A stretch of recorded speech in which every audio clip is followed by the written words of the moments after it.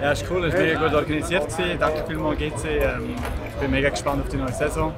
Viele neue Spieler. Wird sich zeigen, ob wir den Erfolg zurückbringen auf den Platz.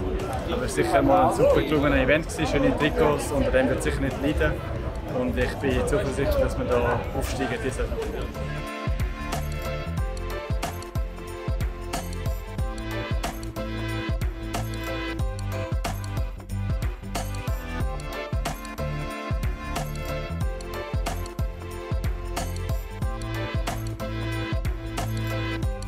Das Event ist toll.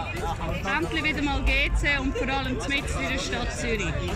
Hopp GC!